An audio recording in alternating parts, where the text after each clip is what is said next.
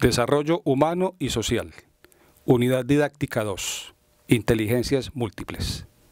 En 1993, el psicólogo y pedagogo norteamericano Howard Gardner publica un extraordinario texto denominado Teoría de las Inteligencias Múltiples, el mismo que revoluciona el concepto de inteligencia en el mundo entero. Su sistema para implementar las inteligencias múltiples se fundamenta en estimular las capacidades y potencialidades en un ambiente activo y afectivo en los niños como lo demanda el siglo XXI. Garner señala que no existe una sola inteligencia en los individuos, sino múltiples inteligencias que demarcan las potencialidades y capacidades de cada individuo. Define la inteligencia como la capacidad de resolver problemas y a su vez nos invita a que seamos capaces de descubrir ocho tipos de inteligencias, las cuales son las siguientes. Inteligencia lógico-matemática. Es la que nos permite resolver problemas de lógica y matemática. Es la que desarrollan los científicos. Se corresponde con el desarrollo del hemisferio lógico y es la que culturalmente se ha considerado como la principal inteligencia. Inteligencia lingüístico-verbal. Esta inteligencia desarrolla ambos hemisferios.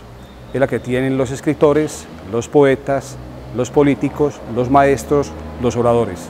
Inteligencia musical rítmica es naturalmente la que desarrollan los compositores, los músicos y los cantantes.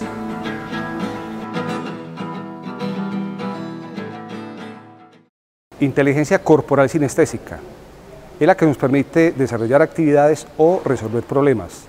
Es propia de los deportistas, cirujanos, artesanos.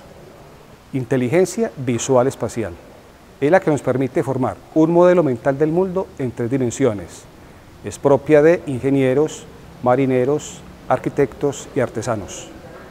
Inteligencia biológica, naturalista o ecológica. Es la que utilizamos cuando observamos o estudiamos la naturaleza. Es propia de los biólogos y los herbolarios.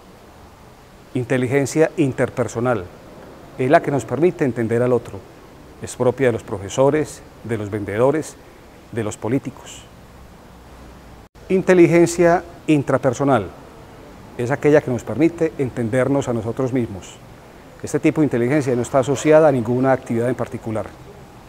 La inteligencia intrapersonal e interpersonal juntas conforman lo que se denomina la inteligencia emocional. Este tipo de inteligencia es la que nos permite dirigir nuestra vida de manera satisfactoria. Esta inteligencia debe su nombre al psicólogo estadounidense Daniel Goleman.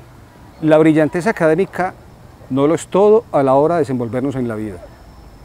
Hay gente con un gran expediente académico, pero incapaz de resolver sus problemas.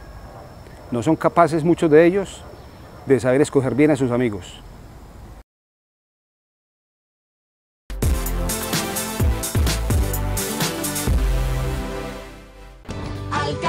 De Medellín cuenta con vos.